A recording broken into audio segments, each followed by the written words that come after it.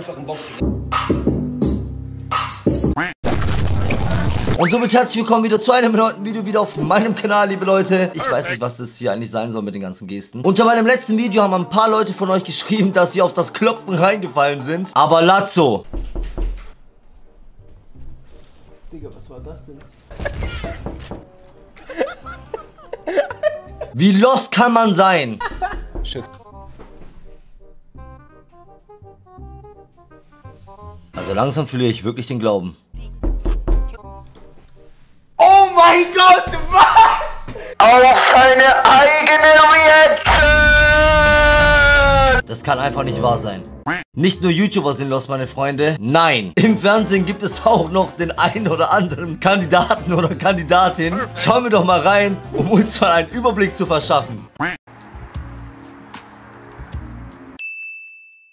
Ihr habt alle den Frisbee gesehen, ja?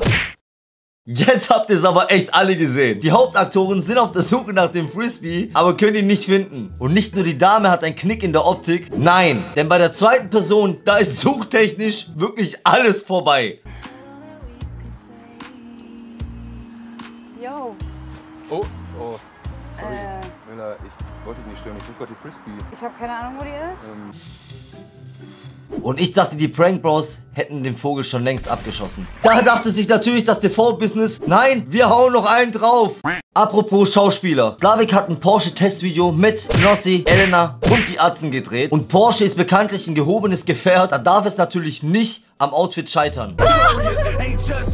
Also ich glaube, das Outfit war doch zu freizügig und unpassend, wenn die Kamera schon von vorne filmt. Deswegen war Elena so schlau und hat die Outfit wieder gewechselt. Ich mag dunkle Haare tatsächlich gerne. Bitte, lieber Gott, schenk mir keine Tochter. Nach einer langen, langen, langen Zeit war ich mal wieder in den Trends unterwegs. Ey, und was ich da wieder gesehen habe, wird Zeit für eine kleine Runde ASMR.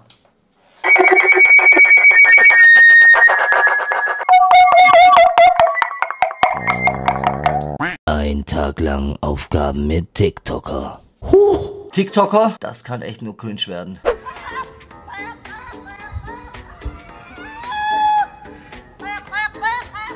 Ich weiß nicht, ob ihr es mitbekommen habt, aber tatsächlich gibt es momentan so etwas wie eine Pandemie, wo man eigentlich Schutzmasken tragen müsste. Aber Gott sei Dank hat er wenigstens den Sicherheitsabstand eingehalten.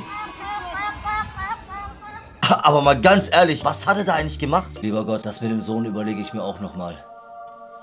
Das war's dann auch mit dem Video. Ich hoffe, euch hat das Video gefallen. Wenn ja, dann lasst dem Video einen Daumen nach oben da. Teilt es, wie gesagt, eurer ganzen Bekanntschaft, eurer Freundschaft, eurer Familienschaft. Hinterlasst für den Algorithmus einen Kommentar. Was haltet ihr von den ganzen YouTubern, die heute hier hochgenommen worden sind? Zum Teil hochgenommen worden. In dem Sinne würde ich einfach mal sagen, vielen, vielen Dank fürs Zuschauen.